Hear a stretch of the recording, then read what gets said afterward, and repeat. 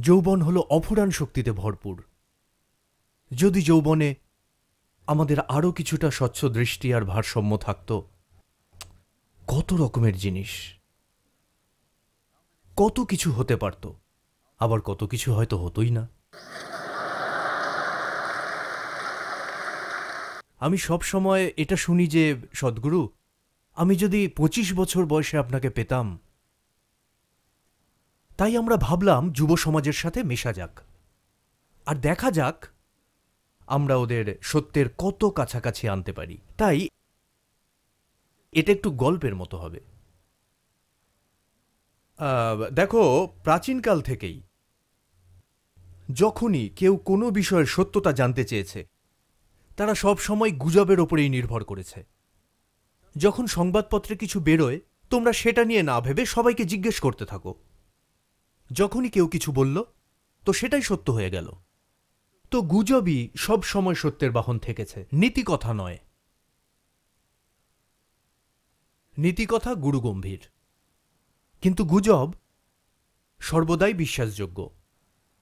তো এটা বেড়ে যায়, অতিরঞ্জিত হয় সব কিছু হয়। মানুষ শেখে গুজব শুনে, গুজবকে ছেঁকে নিয়ে কীভাবে সত্যকে জানতে হয়। তাই না? এখন সোশ্যাল মিডিয়ার দৌলতে। গুজব সারা বিশ্বে ছড়িয়ে পড়ছে। এটার স্থানীয় গুজব নেই।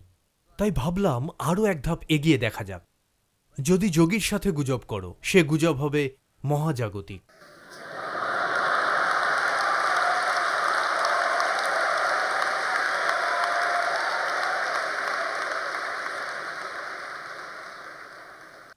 এটা চরম কিছু নয় যে এটাই হবে, ওটাই হবে। আসলে মানুষের একটা মজার ধারণা আছে, সত্য মানে চরম কিছু। আমরা এটাকেই দূর করতে চাই, সত্য চরম কিছু নয়।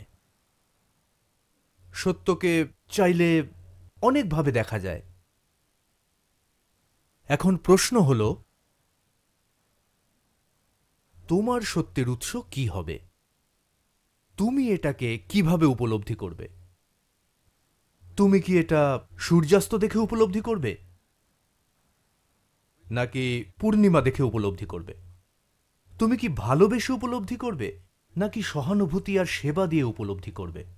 নাকি তোমার এই জীবনটাই তোমার সত্যের আসল বুনিয়াদ হবে? যদি তুমি ওই ওই সূর্যাস্ত বা পূর্ণিমার উপর ভরসা করো,